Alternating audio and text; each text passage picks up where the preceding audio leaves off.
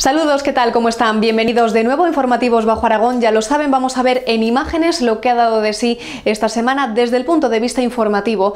Sin duda, una de las noticias de esta semana ha sido la concentración ayer a las puertas de la central térmica de Andorra, a la que acudieron más de 300 vecinos.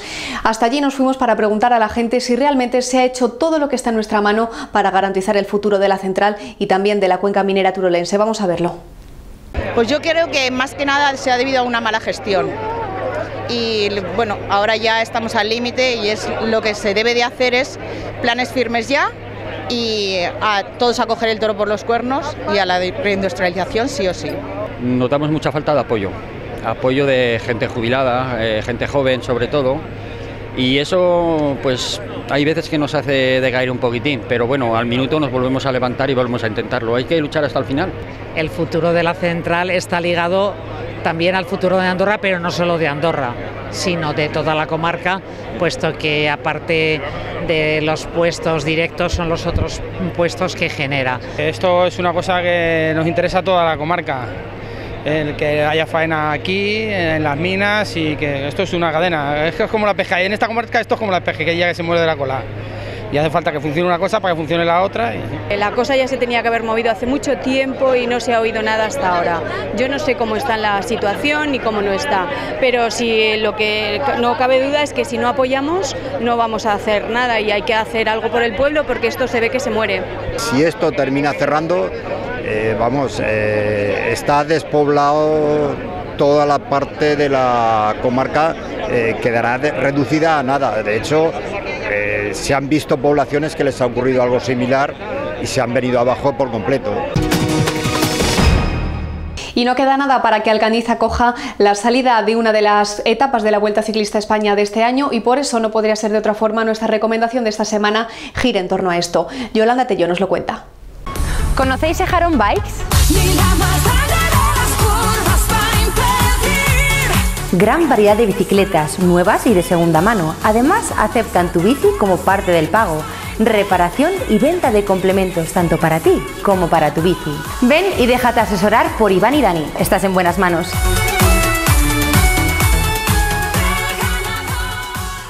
Y ya metidos de lleno prácticamente en este mes de septiembre, para este fin de semana nos esperan unas temperaturas más o menos estables como las de los últimos días y además ausencia de precipitaciones.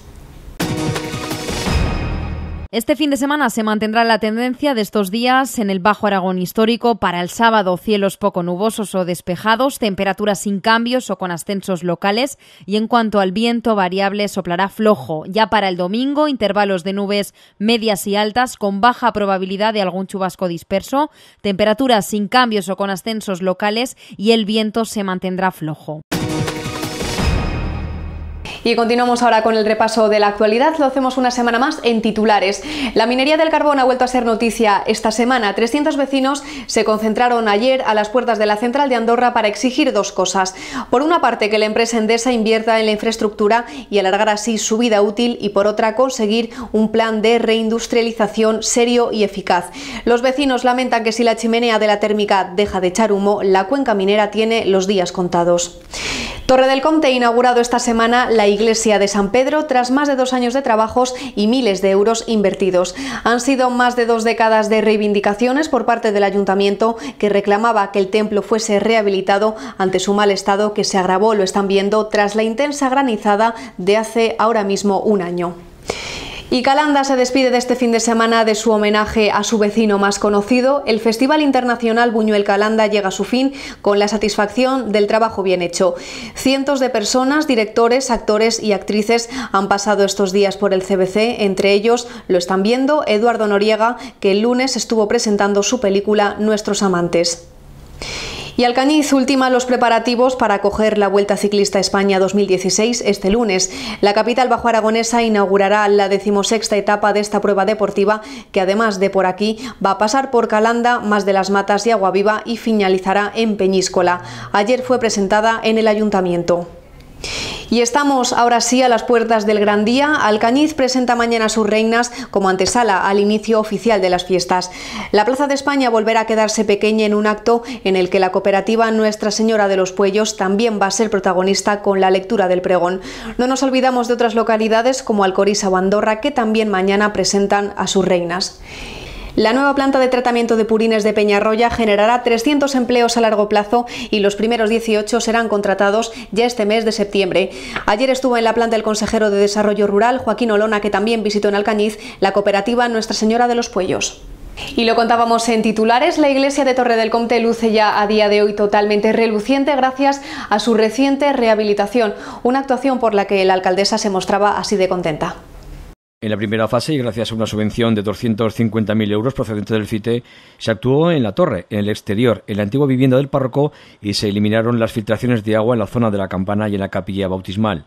En la segunda fase se ha llevado a cabo la limpieza y restauración del edificio, se han reparado los suelos y se ha llevado a cabo el afianzamiento de los cimientos y los pilares de sustentación. En este caso, el dinero invertido ha ascendido a 200.000 euros. Sí, pues estoy muy satisfecha. Me ha tocado a mí, me tocó la pregrada del año pasado, pero también me tocó eh, hace un año, que lo recordaremos hoy, pero también me toca la satisfacción de poder inaugurar esta iglesia de San Pedro, que es un orgullo para todo el pueblo de Torre del Conte. Pues estaba ya muy deteriorada y casi era la más deteriorada de toda la comarca del Matarraña y era una necesidad arreglarla. Pues la primera fase exteriores y la torre y la segunda fase interiores y pinturas. El que se haya podido culminar su restauración ha sido gracias al esfuerzo de muchas instituciones, pero principalmente del que fuera es alcalde de Torre del Conte, Antonio Vergós. El acto comenzaba con la firma en el libro de oro del ayuntamiento por parte de su delegado del gobierno de España en Teruel, José María Valero, y posteriormente tenía lugar la inauguración en la que también participaba el arzobispo de Zaragoza, Vicente Jiménez. Una comida de hermandad puso el punto final a esta jornada en la que además se festejó al patrón San Ramón y en la que también se recordó la granizada que sufrió el pueblo justo hace ahora un año. Y este fin de semana, además de las diferentes presentaciones de reinas, tenemos además muchísimos actos en la agenda deportiva. Destaca además el aniversario que celebra Motorland. Adriana Luna nos lo cuenta.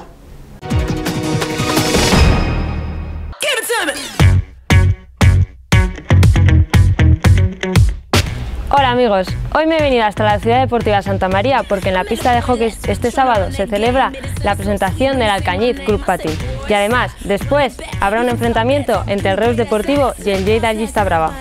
Y para los amantes del automovilismo, este domingo se celebra la decimosexta edición del Trofeo Motorland Aragón. Las carreras comenzarán a partir de las 11. Y nos vamos hasta el Mar de Aragón, en Caspe, porque este fin de semana se celebra el Campeonato de España de Aguas Interiores Memorial Victoriano Miranda. Y por último, os recuerdo que habrá Campeonato del Mundo de MotoGP en Gran Bretaña. Mucha suerte para todos y feliz fin de semana deportivo.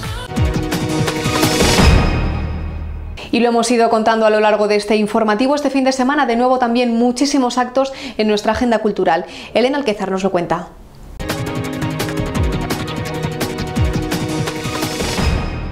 ¿Aún estáis sin planes para el fin de semana? Pues hoy viernes se clausura el Festival Internacional Buñuel de Calanda con la proyección de Bendita Calamidad de Gaizka Urreisti, entre otros, como por ejemplo La novia de Paula Ortiz.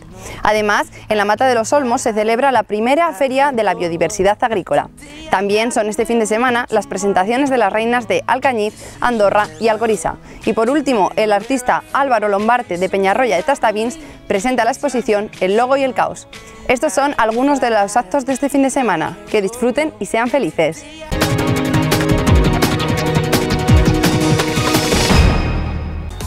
Si te gusta pedalear, Ejaron Bike es tu tienda.